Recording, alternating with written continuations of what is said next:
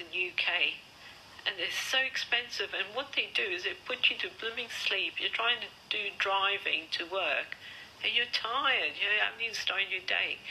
This it helps for hay fever. It helps with allergies like pet fur and all that. You know, so if you're allergic, and um, or, uh, flu, energy.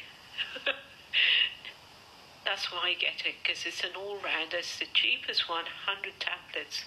One a day, that's all you need. Some days when you're really flat out and you're, or you're feeling worn out too.